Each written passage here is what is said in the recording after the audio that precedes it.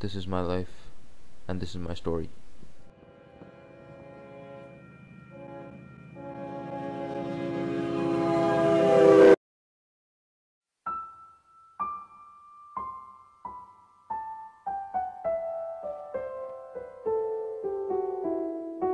Things change around me way too fast.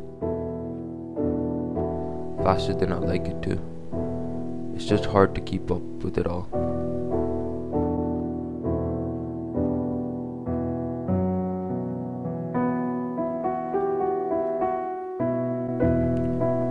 First, I didn't notice it that much.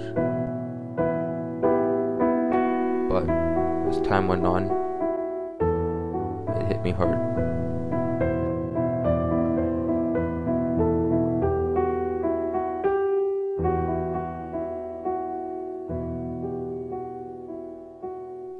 I didn't know till this day that losing a loved one can be so hard.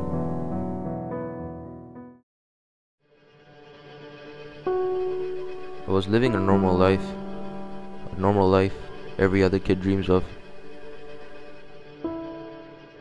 What I really never knew at the moment was losing someone you love is pretty much losing half your life.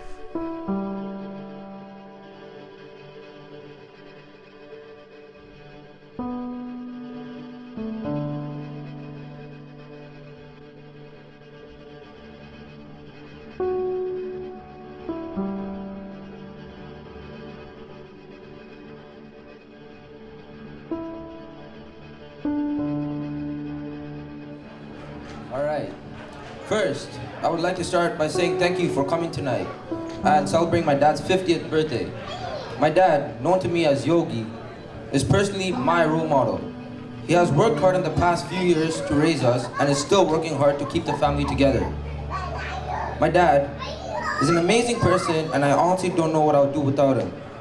But there's one more thing that I want to mention that's really important in my life and if it wasn't for her, I would not be here today.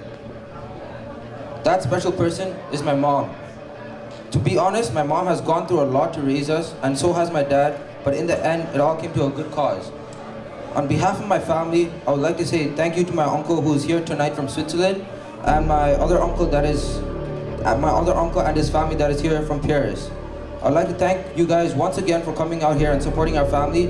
Have a fantastic night and enjoy the rest of the party. He was my one and only brother.